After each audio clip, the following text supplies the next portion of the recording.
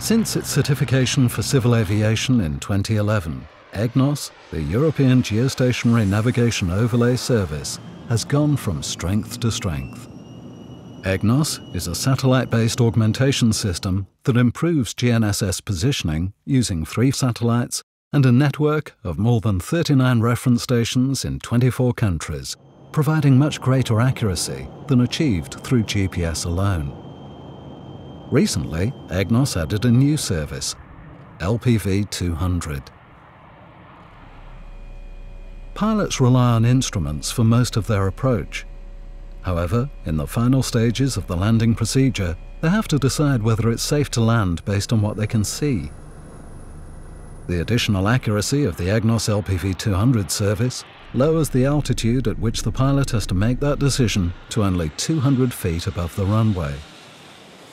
The um, decision height is important because that allows more accessibility to airports in poorer weather conditions. So essentially, the lower the decision height, the better access that airport's going to have in poorer weather conditions. EGNOS reduces risks associated with landing in bad weather, increases accessibility to airports, reduces delays, diversions and cancellations. By increasing airspace capacity and lowering both air traffic control and pilot workload, EGNOS improves safety and increases efficiency of operations, whilst lowering fuel consumption, CO2 emissions and noise levels. The service requires no upgrade to an airport's ground infrastructure or to existing certified EGNOS receivers, and offers the same decision height as ILS Cat 1. We started off with the, the basic LNAV approach, and that minimum was, it was 500 feet. An LPV using EGNOS brings it down to 250 to 300 feet here. When we get LPV 200, that will come down to 200 feet, so the aircraft can be a lot lower before it has to initiate a missed approach. LPV 200 will mean it's um, near enough identical to our Cat 1 ILS. The European GNSS Agency has worked continuously with aircraft manufacturers, airspace users, aviation authorities and airports to help integrate and adopt EGNOS. Every aviation uh, GPS receiver we sell today includes uh, EGNOS um, as part of its chipset.